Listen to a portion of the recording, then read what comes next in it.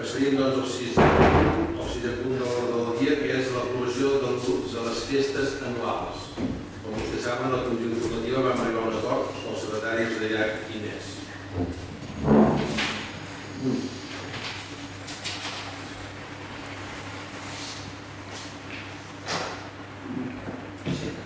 En el diari oficial de la Generalitat de 28 de juny es publica l'ordre de 22 de juny de la Generalitat que estableix el calendari oficial de festes laborals per l'any 2013.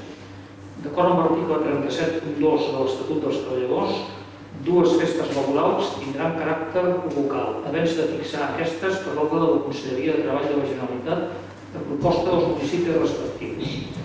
Per això es proposa, primer, designar com a festes locals per l'any 2013 les següents. Dia 2 de maig, festa del Roser, i dia 10 d'agost, Sant Llorenç.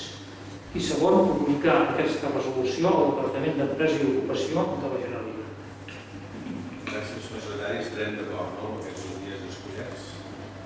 Cal votar, si aprova la unanimitat. Passarem al segon punt de l'ordre del dia, que és aprovar l'assistiment del recurs contenciós administratiu interposat contra l'acord de la Comissió d'Urbanisme de Girona en data 15 de març del secretari.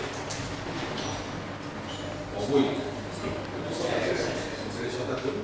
Perdó, el compte general. El grup 7.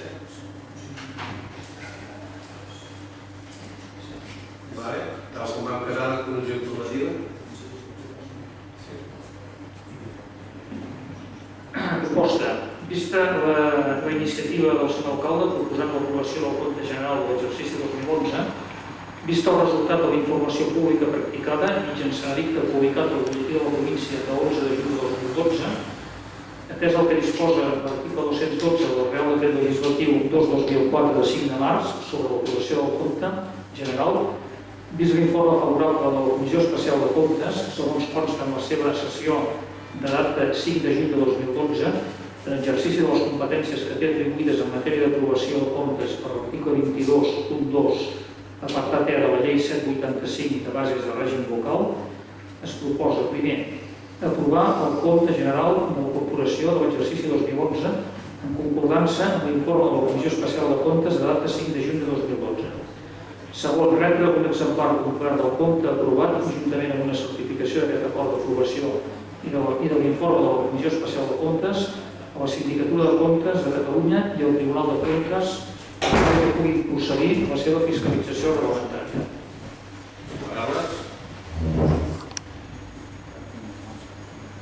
Entenc que s'aprova. El comptes de l'11. Nosaltres ens abstindrem perquè ja en la comissió de comptes vam abstenir perquè l'últim apartat de l'any o l'última porció de l'any tampoc hi era, no? Vull dir que, que no hauria de govern i persones. Sí. Aleshores seria va, doncs a favor, deixarem la mà, tots separats i dues extensions a la participació de PSC. Gràcies. I el que havia saltat abans, o que havia anat per feina, aprovar el desistiment del recurs contenciós administratiu proposat contra l'acord de la Comissió de de Veïns de Girona, data 15 de març del 2012. Senyor secretari?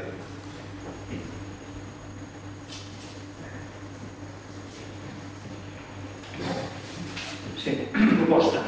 Atès que per part de la Comissió Territorial d'Urbanisme de Girona es va notificar l'acord de data 15 de març de 2012, pel qual es resolia publicar en el diari oficial de la Generalitat els acords de la Comissió Territorial de Girona, d'Urbanisme de Girona de 30 de setembre de 2009 i 16 de- de desembre de 2009. L'aprovació definitiva del Pla Parcial Urbanístic del subsector A del sector de sol urbanitzable de Vinta, Soterra 1 de Massanet de la Selva així com les corresponents, normes urbanístiques, els efectes d'executivitat d'acord amb l'article 106 del text refós de la llei d'urbanisme. En l'esmentat acord es contenia el pronunciament que el projecte d'urbanització de l'esmentat sector estava aprovat per silenci administratiu. Quan a l'expedient administratiu consta la tramitació del projecte d'urbanització, la presentació d'un text refós i la necessitat de que prèvia l'aprovació es signés un conveni amb l'Agència Catalana de l'Aigua.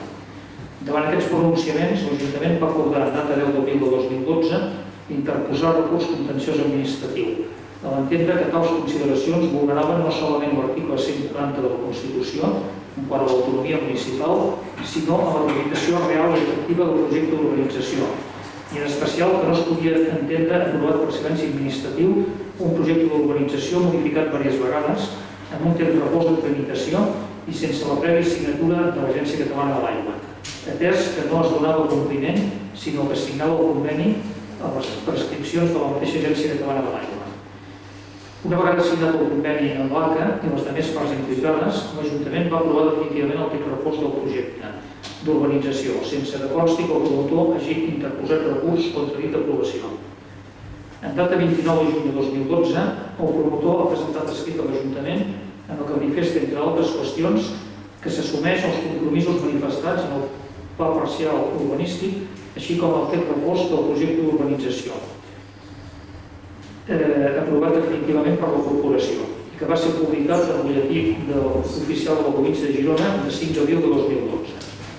Davant aquests nous fets, la consideració realitzada per la Comissió Territorial d'Urbanisme de Girona queda sense virtualitat jurídica, doncs altrament resultaria que s'hauria considerat un projecte d'urbanització aprovat per silenci que deixaria sense efecte el conveni de l'acte i la mateixa tramitació del projecte d'urbanització i del seu repòs. Vista també la conformitat del promotor en relació al projecte d'organització aprovat definitivament per l'Ajuntament, es considera que s'ha perdut l'objecte del recurs contenciós administratiu i que el seu seguiment seria només a efectes de discutir una qüestió jurídica o sense una transcendència efectiva i real post-impós al seu resultat. Per altra part, les resolucions de l'Ajuntament van fer esment a la publicació del pla parcial, que s'hauria de realitzar una vegada aprovat el repòs del projecte d'urbanització.